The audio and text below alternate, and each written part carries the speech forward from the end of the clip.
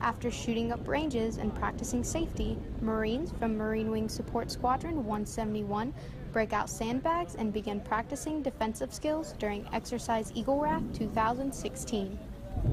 So what we're working toward is to be able to occupy a defensive perimeter around an air point or a FARP uh, or anything else an MWSS would establish to allow aircraft to come in, refuel, refit, and then take off complete their mission.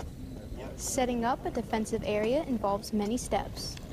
When they first arrive, they're going to be required to sweep the area, make sure there's no IEDs or explosive devices that are already there to, to meet them. Uh, once they do that, they'll establish a defensive position around. So what they're establishing is individual fighting positions uh, using seven sandbags.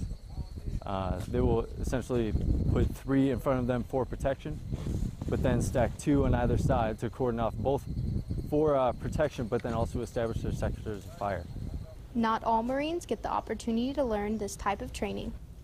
First and foremost, I want to just say I had a good time here. You know, just the opportunity we got from 171 to come out here one time a year. As Exercise Eagle Wrath 2016 continues, Marines head to the forest to begin patrolling. Reporting from Combined Arms Training Center, Camp Fuji, Japan, I'm Lance Corporal Nichole Stoehrer.